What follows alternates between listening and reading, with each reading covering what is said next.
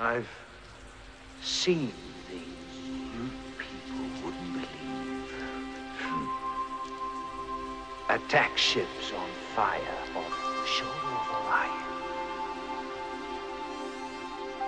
I watched C-beams glitter in the dark near Tannhäuser Gate.